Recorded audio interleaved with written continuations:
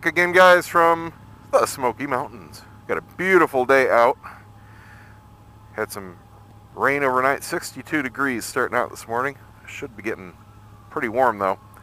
And we're doing a pretty long route today. We're getting a late start like we did yesterday. It's quarter to nine. We got to be back a little early today because I'm going to be smoking some pork all night. This is our drive out of here, and it's not going to look as steep because I got the ultra wide lens setting on. But oh my goodness, is this a steep drive? It's fine on the bikes. Just got to watch the leaves and the wet slickness and the big speed bumps. Beautiful ride out though. So let's see, Pat and I should have both about a third of a tank of gas. The other two guys said they've got about 70 miles of range left. Ooh, that speed bump was slick. Kind of went sideways on the back tire there a little bit. Plus my tires are cold and wet. So we're gonna go riding for a little while this morning. And again, I didn't really look at the route, but I am going to assume it's a whole bunch of more super twisty roads the whole way. I'm amazed that uh, he found these routes. I mean, he made them himself, and it turns out he hasn't ridden these roads before. He's zooming in to his GPS display here to see what kind of corners he's coming into. I thought for sure, you know, oh, they'd ridden this four or five times and they know the roads. Nope, first time. These guys can ride. It's no joke. Ooh, a little foggy. Nice mist coming through the Smoky Mountains. Imagine that. So I'll pick this up when we get to some better roads, get the tires warmed up, and have some fun.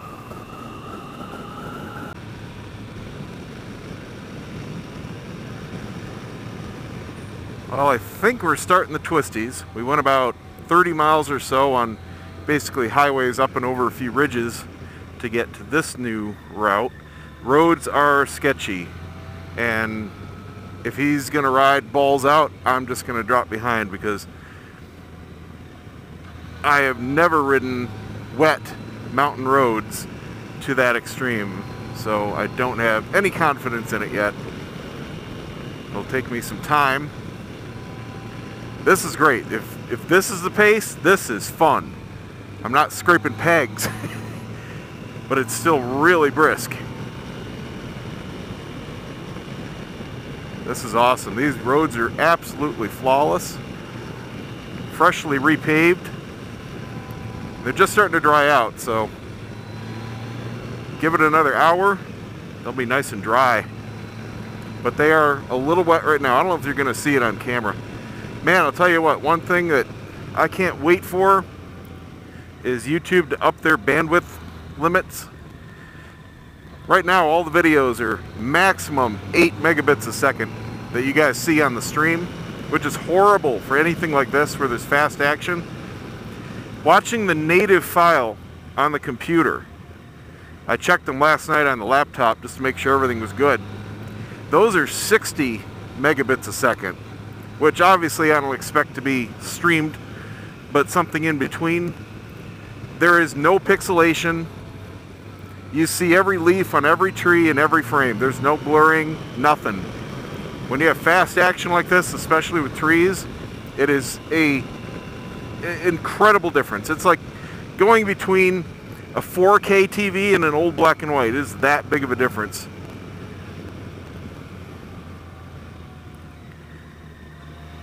I think I'm going to start from this trip, at least, holding on to my original video files just in case things improve in the future because I'm not sure if things improve in the future if YouTube will reprocess the original files. I don't know if they do that. They've been working on a new encoding system called H265 which is the, the upgrade basically to H264 which is what all MP4s have been using for the last decade. But H265 is a lot more efficient, meaning they could squeeze in a lot more data and improve what you see on the screen with the current bandwidth. And they've been going to it. I don't know if every video is encoded by default now in it or what, but it's a slow ramp out because people need H265 players and not all browsers still support it. It's relatively new. So that's something to look forward to. But the thing is, the videos have to be reprocessed on YouTube side between the two. So I don't know if they're holding on to the original uploads, which look awesome, and then if they would reprocess them later automatically, or if I would have to re-upload the file again. So I'm going to hold on to them here. It's not like I don't have the storage space. Because these are really awesome videos. This is going to be my favorite, assuming I don't crash again, my favorite trip. My favorite set of videos. These roads are just so fantastic. I am so glad they invited me just for the fact that I now know these roads exist. I mean, I would come back up here in a group or alone or with the wife or whatever just to do these roads, you know? I don't care about the Dragon. That's one little 11 mile strip and here we found hundreds of miles. These roads here, man, they're better than the Dragon because there's no freaking traffic. There's no cop every two miles. The Dragon's still cool, but man, I'll take these any day. Yeah, you have driveways and stuff to look out for, but don't drive total balls to the wall and you're fine. Nope. like I said, turns out he hasn't ridden these before either, so he's zoomed in and he's looking just like I would have to. So he warned us, might miss a few turns, no big deal. Alright, I'm going to shut up, enjoy the ride. You guys can enjoy the sights.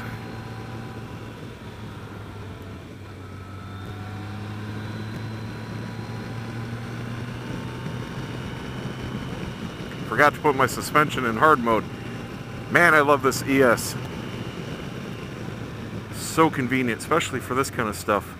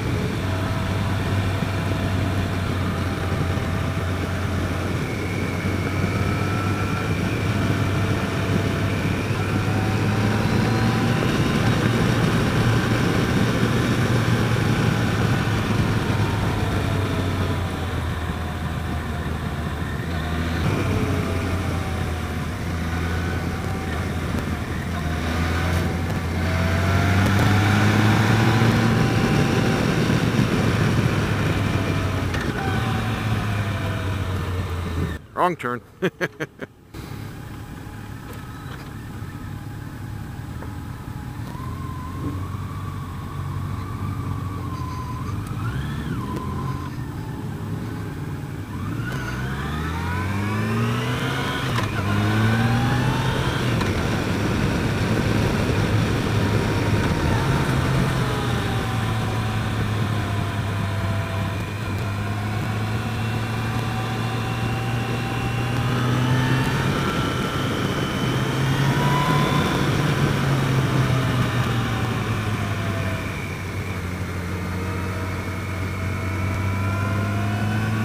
Whoa. My transition shield is pretty dark right now. And going in and out of these spotty trees, uh, the road kind of disappears for a split second. That's a little unnerving. Oh man, a lot of waves in these corners, bouncing up and down. This particular road is not as good as all the other ones we've been doing. Don't like it.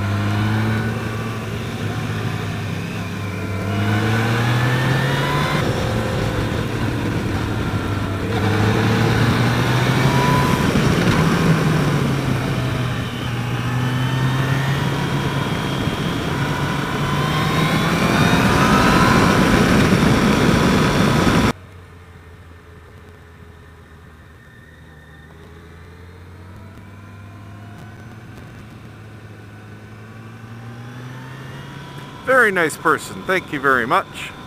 That was awesome.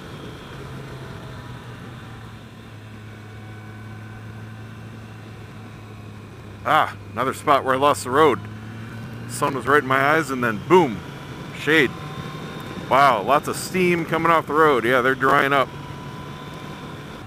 Going back up a really steep grade here. I wish the GoPros had the little altimeter display like some of the Garmin Virbs do, or at least did. I think they eliminated that feature.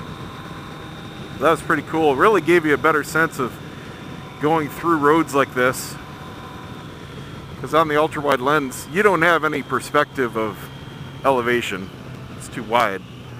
And if I narrow it in, it eliminates everything on the sides and you really don't get a sense for the surroundings.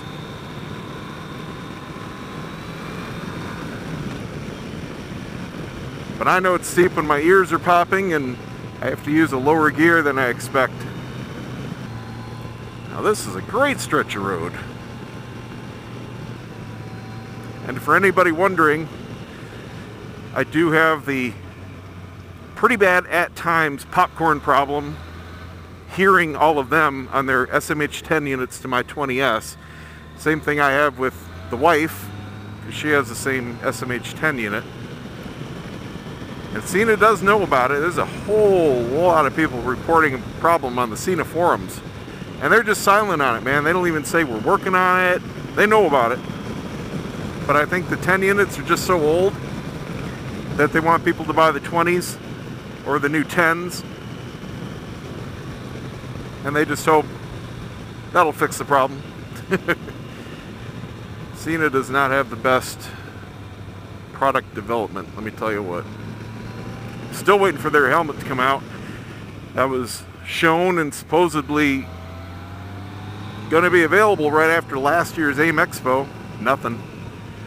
They'll probably have the same display up this year. I'll know in about a month and a half.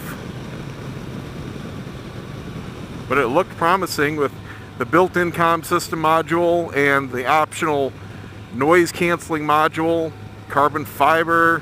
Looked really cool. I didn't get to try one on. They didn't have one my size to try on. But it was super lightweight, of course, carbon fiber. Not cheap. They wanted it, I think they was starting at 800 suggested and who knows what it'll be if it actually comes to market. There were a few helmets I saw last year that never came to market this year. At least not yet. Of course, the big elephant in the room was the, uh, oh man, now the name escapes me the huge scandal, the Kickstarter, GoFundMe, whatever the the pre-order one was. Suppo- oh, the Skully with the heads-up display, and the rear view camera, and all that kind of stuff. And it turns out the 1,500 or so people that bought in for over a thousand dollars, hundred of them got helmets, and they were all one-offs. And the millions that the company raised all went to parties and cars and vacations in Vegas and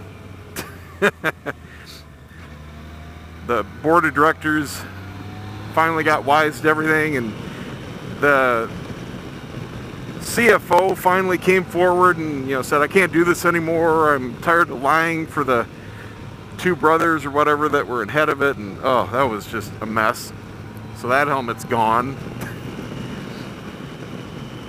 Course all the investors are screwed because here's the screwed up part. It wasn't like they actually invested in the company. It was one of these Kickstarter campaigns, basically. I, I, don't remember if it was Kickstarter or another one like Kickstarter, but under the rules of how they did it, they aren't entitled to refunds. So they can't even pursue damages. It was a at your own risk kind of thing. Gassed up, good to go. We got Marcus and Josh switching bikes for this leg. Marcus is having a bad day. He's got some gear lash issues going on. So he's uh, getting a little tired of having to maintain constant pressure on the throttle. His jacket just ripped. His microphone died.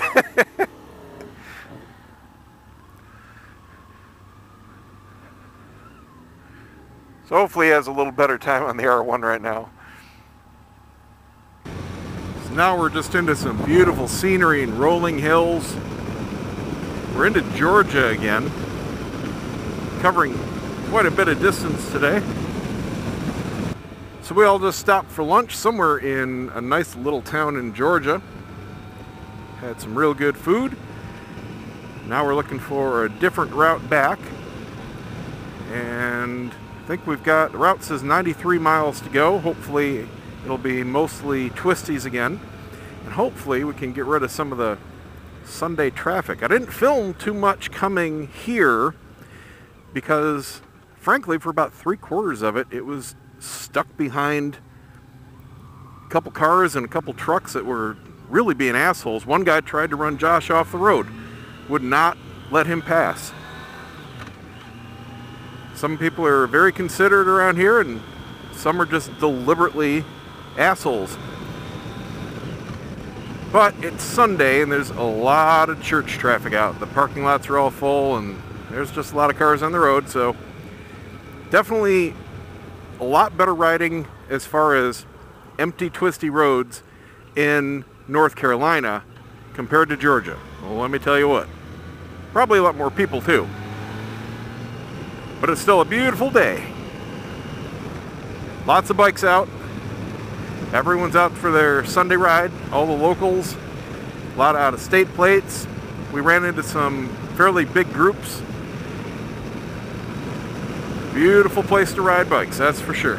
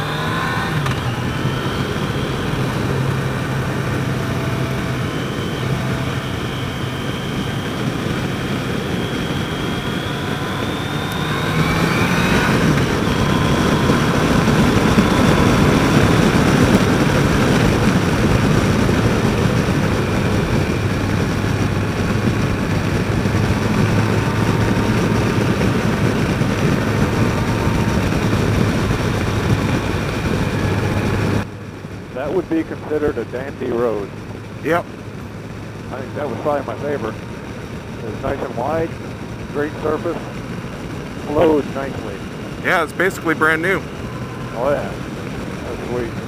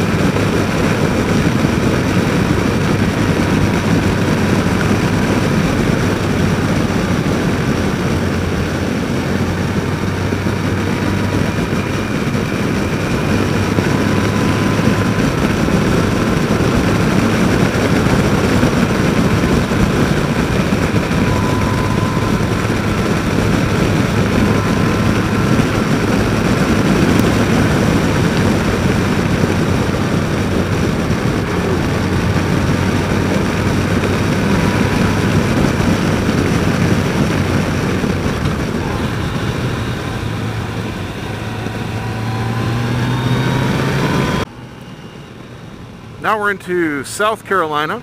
We're going to be clipping this for a little while. Going back up into North Carolina.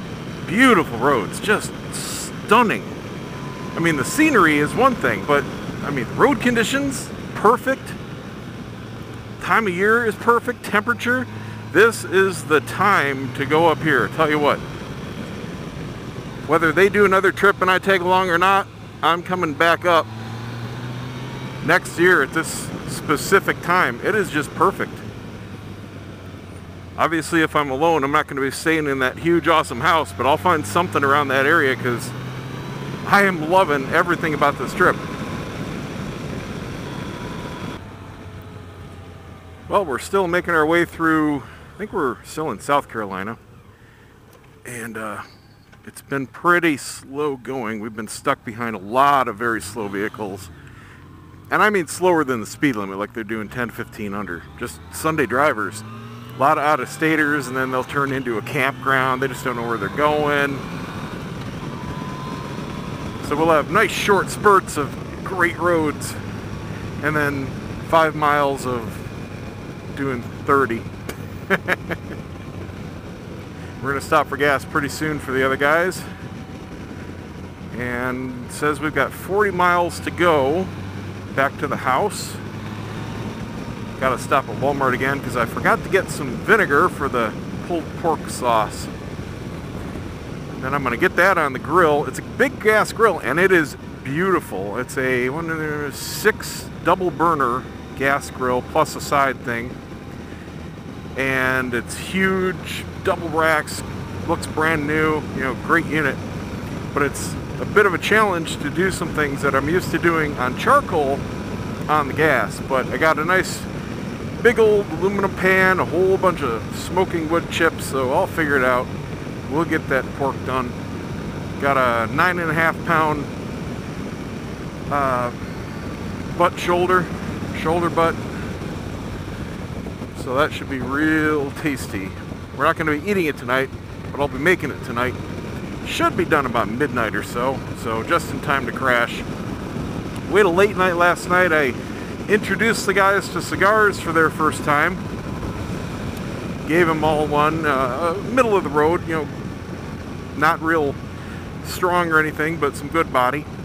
Unfortunately, I feel bad because Josh got sick. It was too much for him. So I've got some real mild ones that I'll let them try tonight, just as a comparison.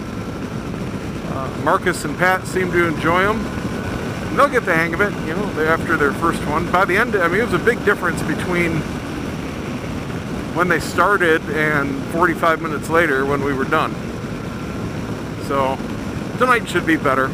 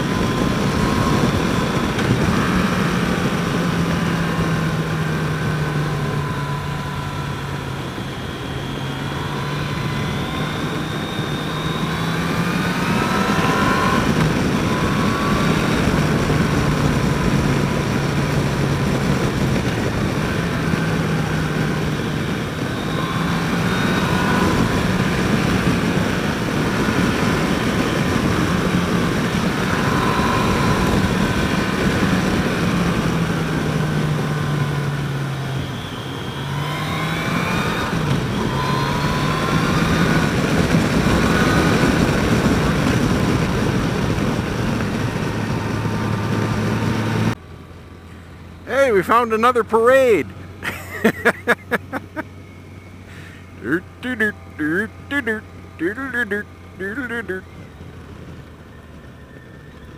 Yay! Thank you, sir. You are awesome.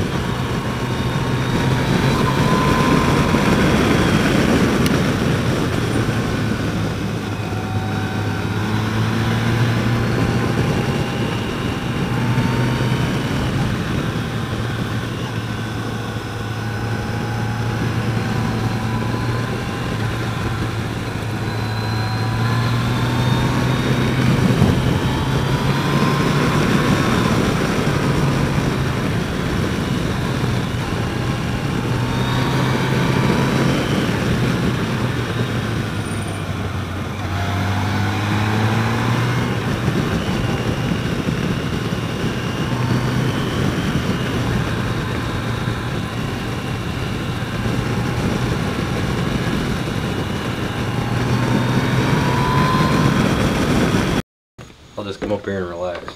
We're holding the nose. I do do something. We're back. How's the day, guys? Outstanding. Tired yet? No, we got back early today. Yes, we did. light light day. Because it's pulled pork day. What you doing? cleaning. But I don't claim to be an expert, so Well, don't look at me. a little bit of prevention goes a long way. I don't know what that funny looking metal thing is around there. I do it the right way. One of those guys. So how did the bikes run today? Ran great. Got to try out Josh's for a little bit. What'd you think? Had some fun on it. Definitely different riding position, which I could get used to. But uh, for the tight stuff, uh, the wide bar stance definitely I think is the way to go. Long sleepers, this would work out I think better. And what about you? Which one do you like? Me? Yeah. I I just like to switch it up because I get super sore on certain areas on that. So I still get sore on the other one, but it's different areas. So It evens out. honestly, it's today was once we switched, it was awesome. Because this morning when we left, I was worried, and I knew this is kind of my last hurrah on that thing. I'm getting rid of it, but I enjoyed his bike. I just I don't think I can have an upright. So you got it for sale, right? Yeah, What area? I'm Milwaukee, I think. And what's your asking? Well, it's 95 right now. I think when I get back, I'll probably bring it down to at least nine. Um, it was just kind of a last minute thing if someone happened to be interested in was willing to pay. Because I really wanted to bring it down here. Okay. But yeah, I, Does it does it need anything? Is it good to go? yeah, it's good to go. So why don't you give everybody some kind of contact info if they're interested? Uh, but all you could do is go to Craigslist Milwaukee. Okay. Uh, it's everything's there. Pretty simple. Search for 2012, is it? 10. 2010 R1? Yep. All right, cool. Yep. So if anybody's watching this around the time it comes out and you want a sweet 2010 ready to go R1, that's out of Rossi edition. I don't know. It just had some fancy numbers and stickers on it when I bought it. I figured, I figured it was an old MotoGP bike. Pat, you it's so said you knew what it was. Rossi Well, replica. what? Rossi replica? Oh, yeah. Okay. Cool. I thought that was a singer. And all, all you two-wheel obsession fans that think Brian's just a flatland Florida rider, mm-mm. Getting it on today. Come a long ways in two days. Think so, huh? He went from last in the pack to number two. I don't think he's getting by this guy, Not in one piece. but it's early. We got days You'll see me in the ditch and then you'll pass me. I made it! Good day. All right, well, I got some more cooking to do. We're probably going to have some cigars again, right? Ugh. Maybe not for, well, I, I'm going to, I'll give you a real mild one. If you feel sick, just toss it and you're making me look like a giant wiener. no, I got a little queasy, No, just Yeah. a giant cigar. but Well, it was your first one. I mean, it happens. I enjoyed the experience. That's all that matters. Yeah, it was worth it. All right. Beer time, food time, relax time. See you guys tomorrow.